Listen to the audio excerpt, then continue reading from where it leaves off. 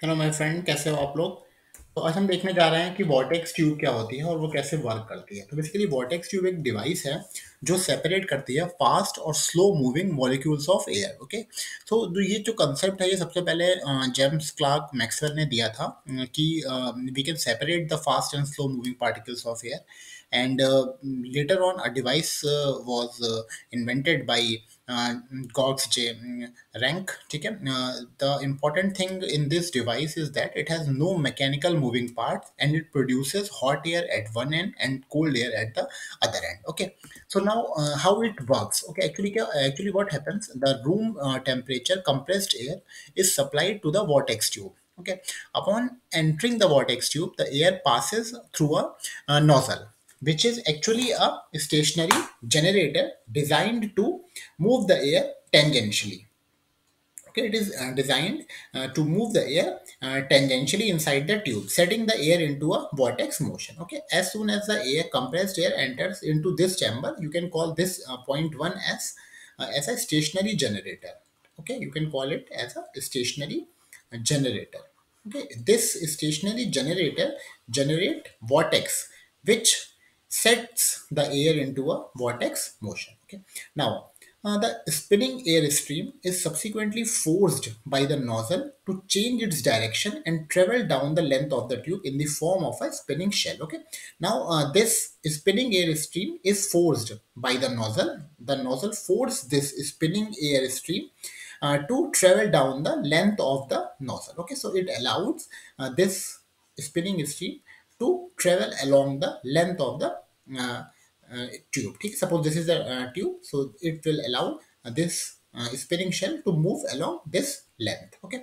Now a conical valve. There is a conical valve provided at the end it at the end it allows some of the air to escape you can see the shape of this conical tube uh, this is it is in the form of a cone it allows some of the air to pass through this okay this this some air will get passed and it allows uh, uh, some air to escape while diverting the rest back down the tube as a second vortex inside the larger outer vortex okay so uh, it forces the uh, air to flow inside it in a smaller vortex. Okay, so so now we have actually two vortex, one rotating outside and one which is rotating inside. Okay, this second vortex then exit the other end of the tube. Okay, then, then it exit at the other end, other end of the tube at a very low temperature. Okay, so this is how it uh, works. Okay, now we can see why it happens why actually uh, this um, this this uh, the air which is present inside get colder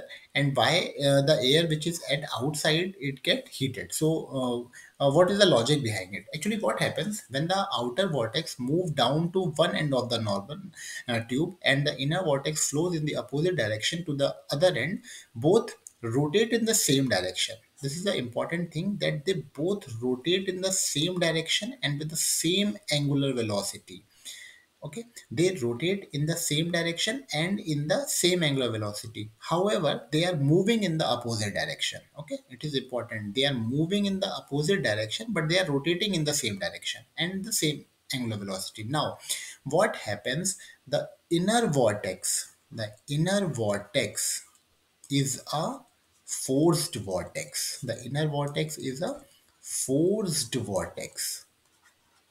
And you can see the radius of the inner vortex is smaller. Okay the radius is smaller. Radius is smaller. And in case of forced vortex the velocity is directly proportional to radius. Okay v is equal to omega r. okay now in case of free vortex v is in case of uh, free vortex this relationship won't hold.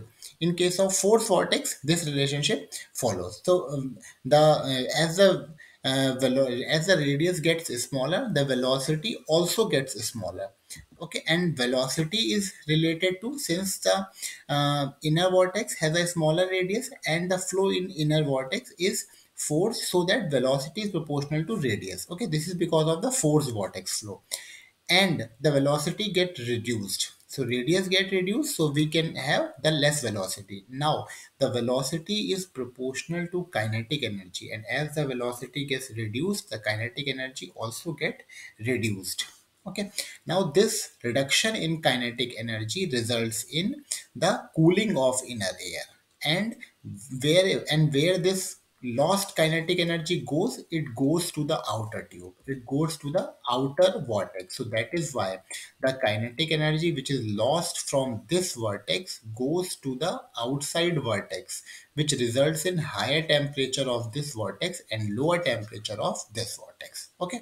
So you can see from this relation also t minus uh, v dot omega cross r cp so this relation i have taken from uh, wikipedia. Okay so you can see that t is the stagnation temperature of the rotating gas at radial position r and the absolute velocity is observed from the stationary uh, frame of reference is denoted by v vector. Angular velocity is omega and cp is the specific heat okay? So you can see from here also that temperature is proportional to radius and as the radius gets down the temperature also moves down okay? So uh, this um, vortex tube effect is explained with the help of a work equation of euler. So okay okay so, so this all um, um, theory part you can write. So the concept behind uh, behind uh, the cooling of the inside of the inside vortex is because of the lost in kinetic energy okay? So final uh, words is that uh, the inner vortex is cool because of kinetic energy lost okay so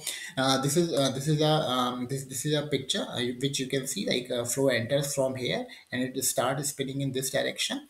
And uh, this uh, this from this you get hot air and from this direction you get cold air okay? So if you like this video you can um, uh, you can click the like button and uh, if you want to see further uh, these kind of videos you can subscribe my channel. Uh, thank you let me check whether this video will be play or not okay? So uh, okay it is playing. So you can uh, see this video also like how uh, this thing is happening okay? So uh, this is a stationary generator which uh, there is a stationary generator which create a vortex approximately one uh, it is it is around very high rpm you can see and the outer vortex is gained kinetic energy uh, and the inner vortex is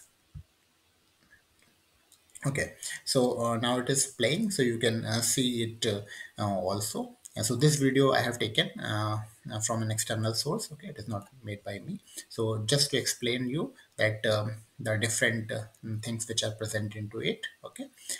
So uh, it is very clear from this video the compressed air enters from this portion. I have already told you compressed air enters from this portion and there is a stationary generator which generate uh, the vortex and uh, this is the outer vortex and in this inside it it is a inner vortex okay? And this um, from here you get hot air and from here you get super cold air okay? So hope you like it okay? Thank you